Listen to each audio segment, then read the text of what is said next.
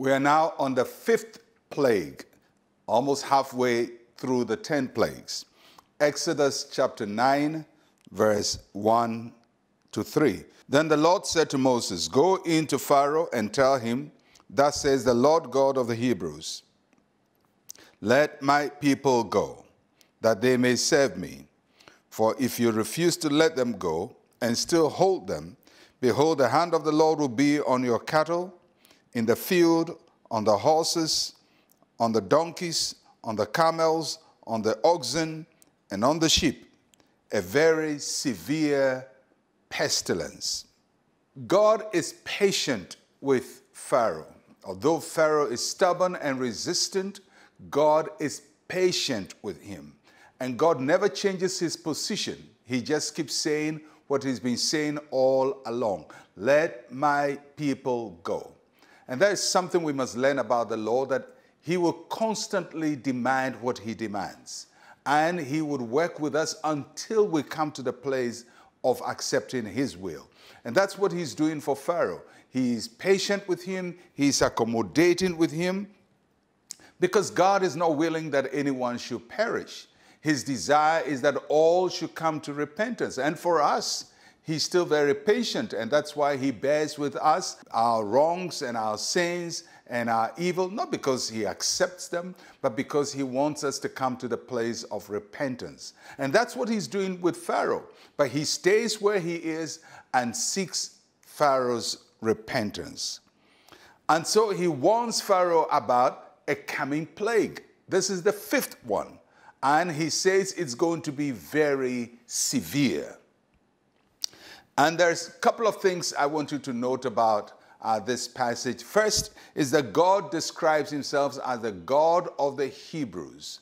The word Hebrew means a wanderer or a stranger. You know, God called Abraham uh, out of his family, and Abraham was a wanderer. He kept moving from place to place, looking for the place that God has appointed him for. And so his descendants were called Hebrews, wanderers. They had no certain place. They were dispossessed people, uh, but God still loved them.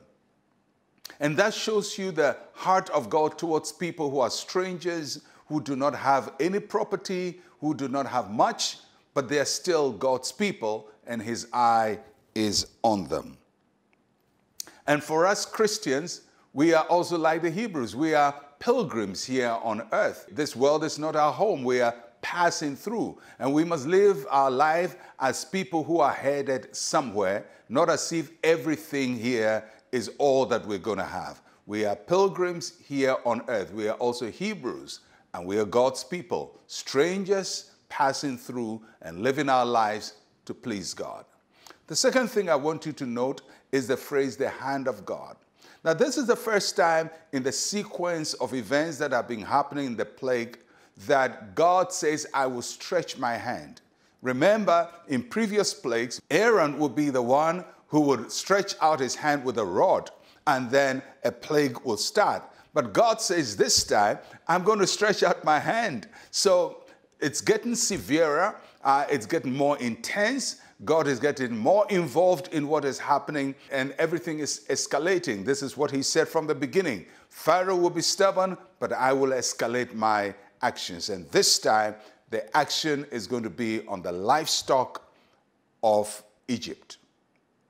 And we're going to learn why it is the livestock that is under attack tomorrow. Let's pray. Say with me, Heavenly Father, you are the defender of the defenseless. Contend for your people against wickedness. In Jesus' name, amen and amen. Well, I'll be with you again tomorrow. I'm Pastor Mensa Otabil. Shalom, peace, and life to you.